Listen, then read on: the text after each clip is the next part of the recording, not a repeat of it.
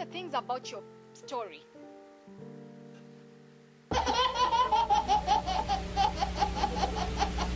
Eleven phones have been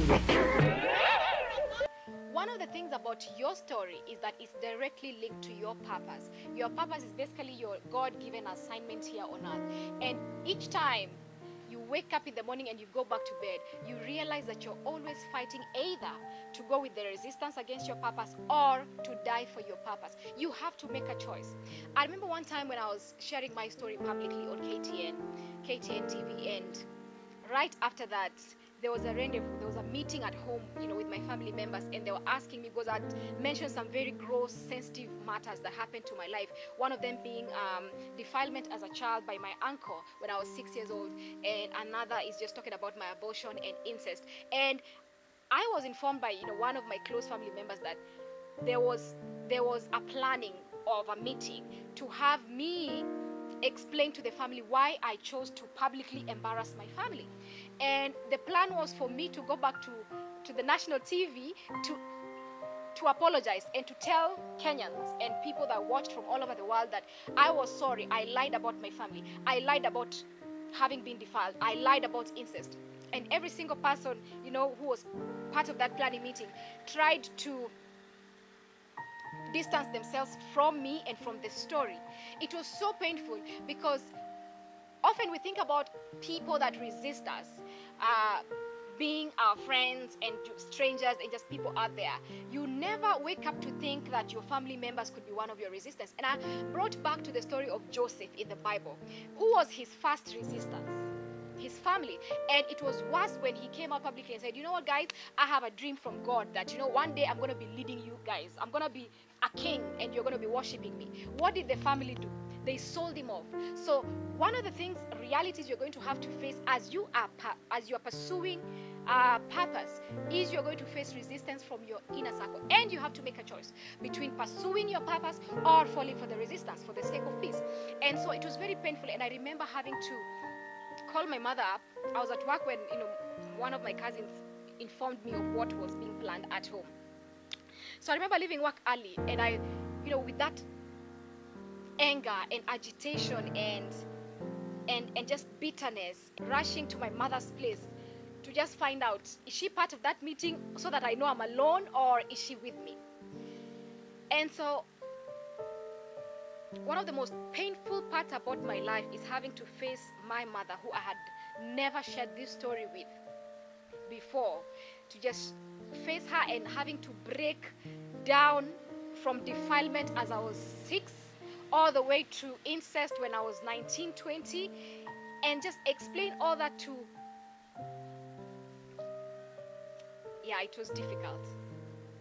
For the first time in my life, I saw my mother tear down. I have never seen my mother. My mother is a very strong person. I have never seen tears on my mother's face, except once when we had a funeral at home, but that was that. Any other time, no matter how tough a situation is, I've never seen my mother tear. That was that broke me. Having to see my mother break down, that broke me. And so I asked her, okay, this is what a family is planning. So I need to know, are you with them or are you with me? Because clearly they are planning to have me go back to the national TV and say and apologize to Kenyans and apologize to my family for embarrassing them. Nobody called me. I'm using my example to tell you the price you're going to pay for purpose. It is not a walk in the park. Nobody asked me, Does your vagina work ever since you were defiled? Are you okay? Are you infected? Is there anything we can do as a family to support you? No. They were caring about their image and their, and their reputation go back to whatever national TV that was, apologize and say, You're sorry for embarrassing the family. And then we can see if we can take you back as a, family member. Luckily, after having that conversation with my mother, I don't know what happened, but that meeting never took place and nobody ever raised it with me. And I'm grateful to God that, you know, He still gave me ability to laugh despite all that. I'm not saying this to shame. Like I said, I'm highlighting my personal example to let you know that your purpose is going to cost you. It's going to cost you your peace. It's going to cost you your family. It's going to cost you your friends because there will be friends who want to distance themselves from you navigating through this conversation. When you go back to bed, between having, you know, pleased people or pleased your soul. What makes you sleep like a baby? What makes you just have a good, restful evening? How do you feel as a person when each time you retire home, you retire to your bed, you are asking yourself questions? What if I spoke my mind? What if I said what I want, what I really wanted to say? What if I did what I really wanted to do? I'm not doing what my friends want me to do. I am not spending how my friends want me to spend.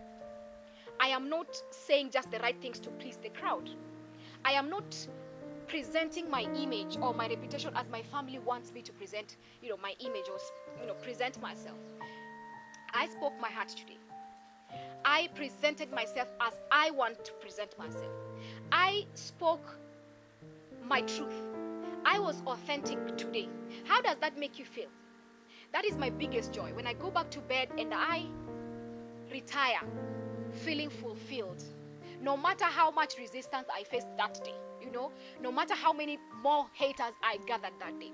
But I spoke my mind, I spoke my heart. And honey, uh, half of the time, actually, most of the time, you're always speaking on behalf of people. People who don't have courage like you, people who don't have um, a clout like yours, people who don't have half the influence you have. When you speak your authentic story, when you speak your truth, you are speaking for these people. So when you go back home and you hold your voice and you hold your authenticity and you hold your truth because you are pleasing the crowd, you are pleasing the masses, you are you know, you are presenting yourself how you should be presented or how you should present yourself. You are limiting minority voices. You are limiting help to someone in their closet. You are limiting assistance to someone who's struggling somewhere privately, somewhere in a corner. It's a deliberate choice. Either to be a people pleaser or to be a purpose fulfiller. One of the things I learned when I turned 30 is the significance of living your truth. For 30 years, I was living to impress people. I was living to please the crowd. I was speaking as the crowd wants me to speak.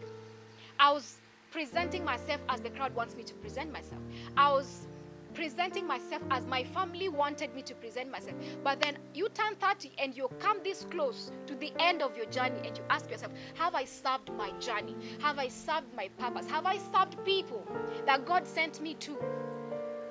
Is it about accolades or is it about serving purpose? Is it about accolades or is it about discovering what you are meant to deliver to generations? Is it about accolades or is, is it about a name? Is it about love? because oh my god you know those guys love me so much i don't want to disappoint them. My family you know believes in me. Is it about people believing in you or is it about you living your truth? No matter who is or who is not in your life. Like joseph his family sold him off. They didn't even distance themselves from they sold him. They did not want anything to do with him. Because for a moment he was a disgrace. But eventually what is joseph's story he became the king and guess what he was providing and serving his very family that sold him off so just tarry, just stay patient, just stay put. In due time, everybody that distanced themselves from you will want to be part of your story because what? You endured, you lived your truth, you walked an authentic being before God and before man. You lived your true identity. There is no greater joy on the face of the earth as living your truth. My goodness, it feels like you cannot compare that satisfaction that gives you. When you walk, you have a sense of pride. You have a sense of esteem, knowing that God accepts me. God is impressed by me.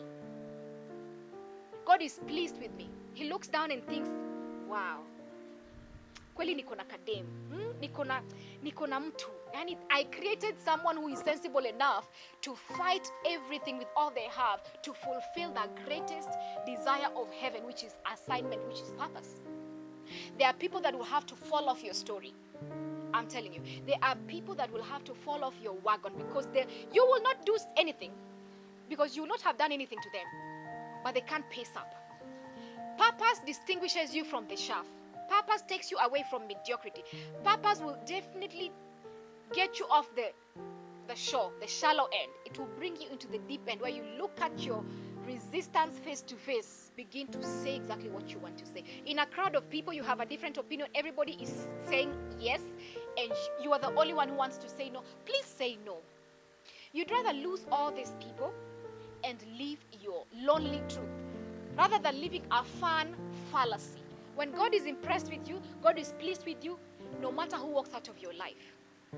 Everything works together for good for those that walk in the path of purpose.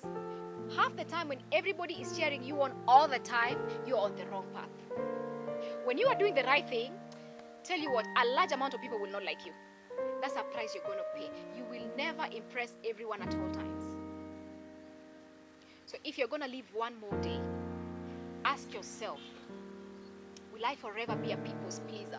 Will I forever suffocate my voice? Will I forever hold my opinion just so that other people's opinion can thrive for the sake of peace? There's this statement you make for the sake of peace. There are times when you don't have peace. If you're going to live your true self, there are times you will not have peace. And you have to embrace it with all grace. You don't have to be bitter about it. You don't want to be angry about it. Just be. Just be your true self. Whoever walks away is fine. But at the end of the day, when you go back to your bed, did you live your truth? Did you speak for your true self? Did you say exactly what you wanted to say? Are you happy? Are you living an authentic life? Are you happy? If your answer is yes, you are on the right path. Carry on.